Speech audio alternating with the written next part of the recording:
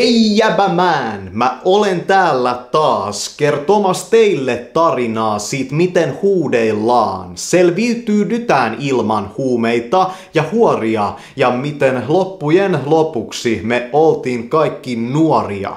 Ja kaikki alkaa tässä tarinassa niin, että mies onkin soppailemas Gessil humpuukkiin. Ja hajusteiden löyhkä saapuu sisään sieraimiin ja miettii mies mielessään uutta sporttikaaria. Ja sitä miten on ketju tämä vaan mun kaulas roikkumassa kun mä räppi menen tiputtaan.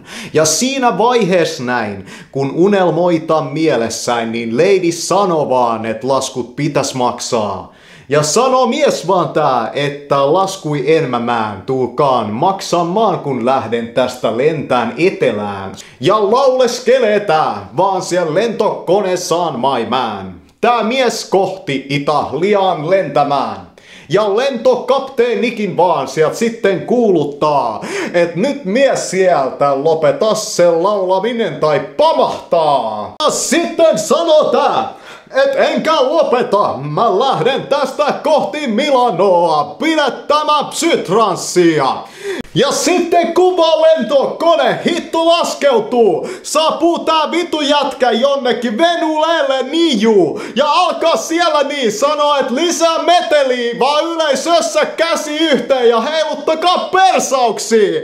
Ja joku lady sieltä sitten sanoo niinkin vaan tälle esiintyjälle, että mä sua rakastaa. Ja tää esiintyjä vaan sieltä tiputtaa niitä hito ja sanoo, että mä oon vielä mun vitu mano, senkin lutka vittu vaan! Ja sen jälkeen syntyy helvetillinen mospitti näin! Ja vittu jotkut hevarit siellä pyörittää hevilettejä! Se on ihan vitullista degeneroitunutta meininkiä ja tätä settiä puskettiin tietenkin MTV!